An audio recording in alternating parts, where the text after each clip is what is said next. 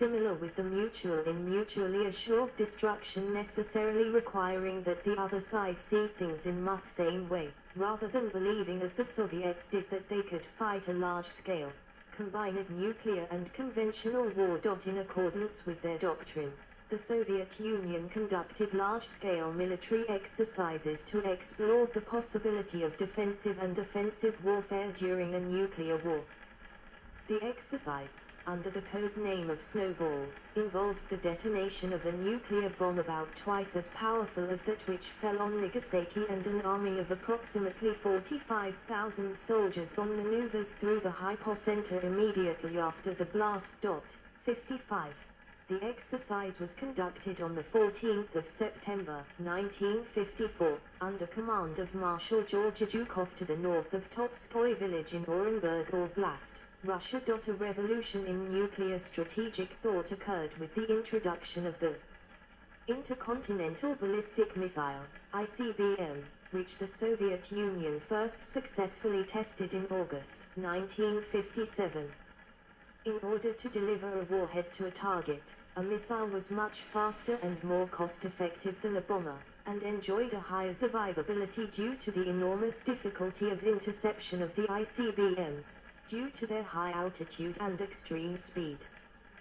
The Soviet Union could now afford to achieve nuclear parity with the United States in raw numbers, although for a time, they appeared to have chosen not to. Dot Photos of Soviet missile sites set off a wave of panic in the US military, something the launch of Sputnik would do for the American public a few months later. Politicians, Notably then U.S. Senator John F. Kennedy suggested that a missile gap existed between the Soviet Union and the United States. The US military gave missile development programs the highest national priority, and several spy aircraft armed reconnaissance satellites were designed and deployed to observe Soviet progress. Early ICBMs and bombers were relatively inaccurate which led to the concept of counter-value strikes attacks directly on the enemy population, which would theoretically lead to a collapse of the enemy's will-to fight. During the Cold War, the Soviet Union invested in extensive protected civilian infrastructure, such as large nuclear-proof bunkers and non-perishable food stores. By comparison, smaller-scale civil defense, Programs were instituted in the United States starting in the 1950s, where schools and other public buildings had basements stocked with non-perishable food supplies, canned water, first aid, and dosimeter and Geiger counter radiation measuring devices. Many of the locations were given fallout shelter designation signs. CONELRAD radio information systems were adopted, whereby the commercial radio sector, later supplemented by the national emergency alarm repeaters, would broadcast on two radio frequencies in the event of a civil defense, CD, emergency. These two frequencies, 640 and 1240 kHz were marked with small CD triangles on the tuning dial of radios of the period as can still be seen on 1950s vintage radios on online auction sites and museums. A few backyard fallout shelters were built by private individuals. Henry Kissinger's view on tactical nuclear war in his controversial 1957 book Nuclear Weapons and Foreign Policy was that any nuclear weapon exploded in airburst mode that was below 500 kilotons in yield and thus averting serious fallout may be more decisive and less costly in human lives than a protracted conventional war. A list of targets made by the United States was released sometime during December 2015 by the U.S. National Archives and Records Administration. The language used to describe targets is designated ground zeros. The list was released after a request was made during 2006 by William Burr who belongs to a research group at George Washington University, and belongs to a previously top-secret 800-page document. The list is entitled Atomic Weapons Requirements Study for 1959 and was produced by U.S. Strategic Air Command during the year 1956. 56, 1960s. More than 100 US-built missiles shaving the capability to strike Moscow with nuclear warheads were deployed in Italy and Turkey in 1961 in 1960 the United States developed its first single integrated operational plan, a range of targeting options, and described launch procedures and target sets against which nuclear weapons would be launched, variants of which were in use from 1961 to 2003. That year also saw the start of the Missile Defense Alarm System, an American system of 12 early warning satellites that provided limited notice of Soviet intercontinental ballistic missile launches between 1960 and 1966. The ballistic missile early warning system was completed in 1964. The most powerful atomic bomb ever made, the Tsar Bomba, tested by the Soviets on the 30th of October, 1961. It was 50 megatons, or equal to 50 million tons of regular explosives. 57. A complex and worrisome situation developed in 1962, in what is called the Cuban Missile Crisis. The Soviet Union placed medium-range ballistic missiles 90 miles, 140 kilometers, from the United States, possibly as a direct response to American Jupiter missiles placed in Turkey.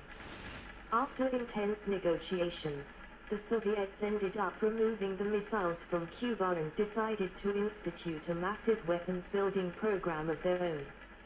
In exchange, the United States dismantled its launch sites in Turkey, although this was done secretly and not publicly revealed for over two decades.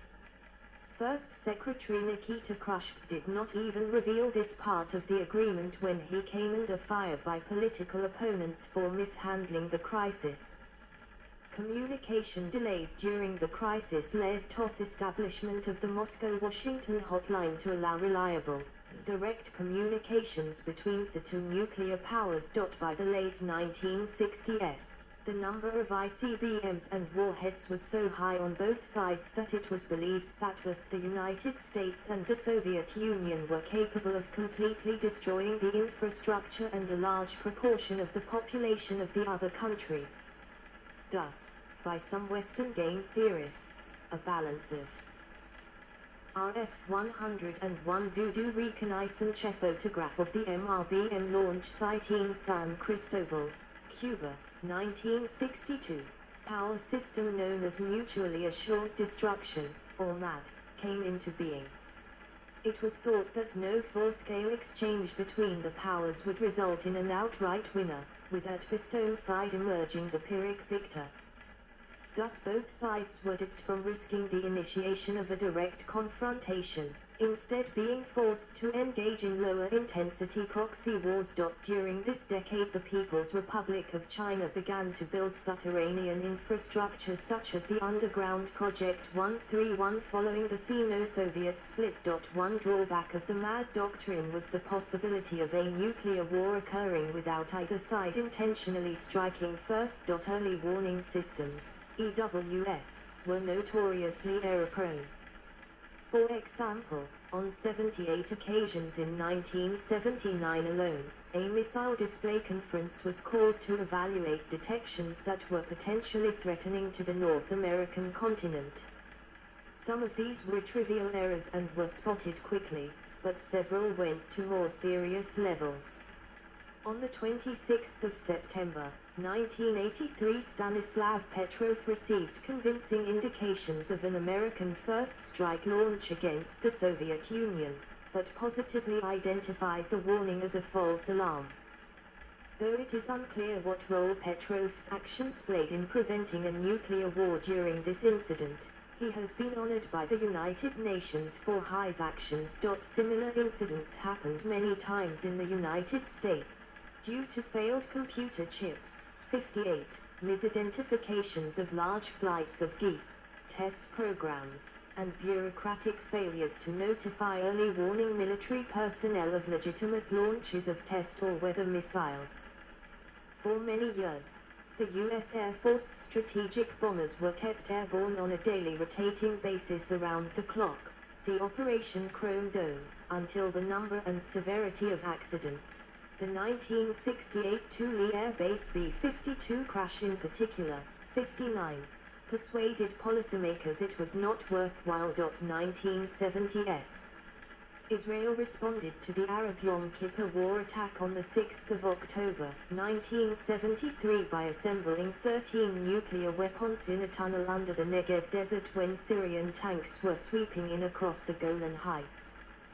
On 8 October 1973, Israeli Prime Minister Golda authorized Defense Minister Moshe Dayan to activate the 13 Israeli nuclear warheads and distribute them to Israeli Air Force units with the intent that they be used if Israel began to be overrun. 60. On the 24th of October, 1973, as U.S. President Richard Nixon was preoccupied with the Watergate scandal, Henry Kissinger ordered a DEFCON 3 alert preparing American B-52 nuclear bombers for war. Intelligence airports indicated that the USSR was preparing to defend Egypt in its Yom Kippur war with Israel. It had become apparent that if Israel had dropped nuclear weapons on Egypt or Syria, as it prepared to do, the USSR would have retaliated against Israel, with the US then committed to providing Israeli assistance possibly escalating to a general nuclear war. 61.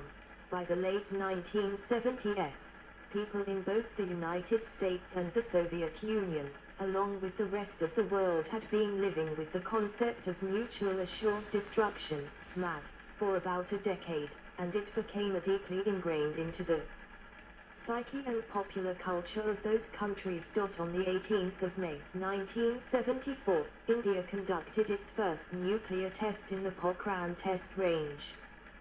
The name of the operation was Smiling Buddha, and India termed the test as a peaceful nuclear explosion the Soviet Duga early warning over the horizon radar system was made operational in 1976.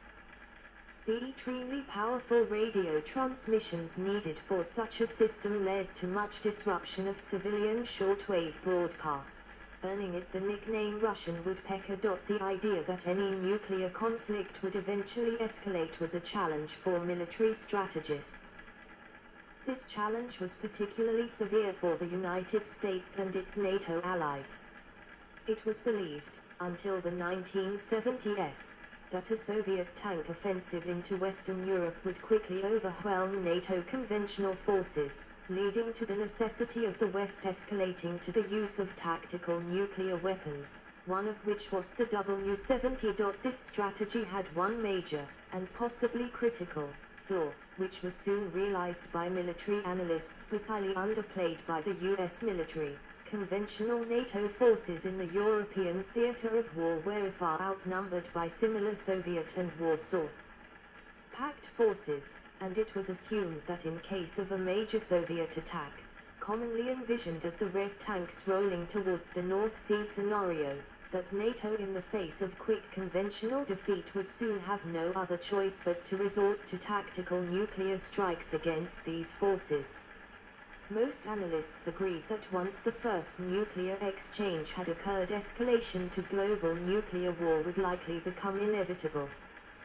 The Warsaw Pact's vision of an atomic war between NATO and Warsaw Pact forces was simulated in the top-secret exercise Seven Days to the River Rhine in 1979 the British government exercised their vision of a Soviet nuclear attack with Square Leg in early 1980. Large hardened nuclear weapon storage areas were built across European countries in anticipation of local US and European forces falling back as the conventional NATO defense from the Soviet Union, named REFORGER, was believed to only be capable of stalling the Soviets for a short time. 1980s Montage of the launch of the Trident C4 SLBM and the paths of its retrievals. In the late 1970s and, particularly, during the early 1980s under U.S.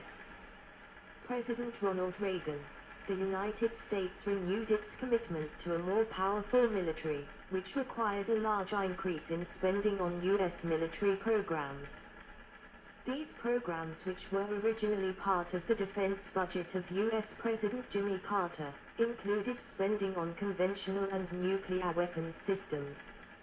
Under Reagan, defensive systems like the Strategic Defense Initiative were emphasized as well. Another major shift in nuclear doctrine was the development and improvement of the submarine-launched, nuclear-armed ballistic missile, or SLBM. It was hailed by many military theorists as a weapon that would make nuclear war less